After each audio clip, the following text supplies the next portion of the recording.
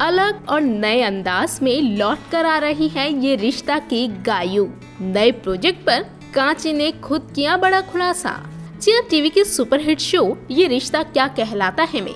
गायु का किरदार निभाकर घर घर में फ़ेमस हुई एक्ट्रेस कांची सिंह ने जब इस शो को छोड़ा था तो शो की ऑडियंस और कांची के फैंस काफ़ी निराश हुए थे। इस शो को छोड़े कांची को तकरीबन साढ़े तीन साल बीत चुके हैं। ये रिश्ता शो के बाद वो किसी भी बड़े शो का हिस्सा भी नहीं बनी। लेकिन अब कांची ने अपने नए प्रोजेक्ट पर खुद ही खुलासा कर डाला है। जी हाँ दरअसल कांची किसी टीवी शो के लिए तो नहीं लौट रही, बल्कि जल्द ही बॉलीवुड डेब्यू करने वाली है। यह टाइम्स ऑफ़ इंडिया को दिए इंटरव्यू में कांची ने बताया मैंने बॉलीवुड में आने के लिए अपना शो छोड़ दिया और ये अब साढ़े तीन साल बाद हो रहा है। मैं इस महीने के अंत में भोपाल में इसकी शूटिंग शुरू करूँगी। मुझे खुशी है कि मैं एक फ़िल्म के साथ एक्टिंग में लौट रही हूँ। मेरी एक्साइटमेंट आसमान छू रही है। वही जब कांची से सवाल किया गया कि क्या बॉलीवुड में जाना ही उनका मेन लक्ष्य था और क्या वो अब कभी टीवी में वापसी नहीं करेंगी?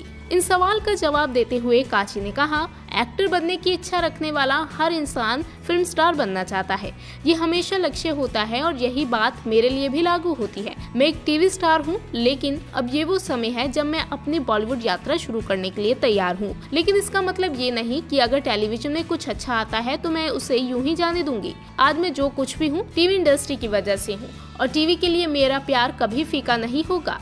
आपको बता दें कि कांची अब तक कई टीवी शोज़ में काम कर चुकी हैं। ये रिश्ता के अलावा वो कुटुम्ब ससुराल सिमर का और प्यार हो गया प्यार तूने क्या किया भक्तों की भक्ति में शक्ति कुर्बान हुआ में नज़र आ चुकी हैं। आपको बता दें कि कुछ दिन पहले कांची रोहन मेहरा के साथ अपने ब्रेकअप को लेकर भी खूब लाइमलाइट में बनी हुई थी दोनों के ब्रेकअप की खबरें तब सामने आई थी जब साल 2021 में वैलेंटाइन डे के मौके पर दोनों ने एक दूसरे को नजरअंदाज किया और कुछ भी पोस्ट नहीं किया था लेकिन अब एक बार फिर से कांची अपने फैंस को एंटरटेन करने के लिए बिल्कुल ही तैयार हो चुकी हैं और जल्द ही अपनी इस फ़िल्म की शूटिंग भी शुरू करने वाली हैं।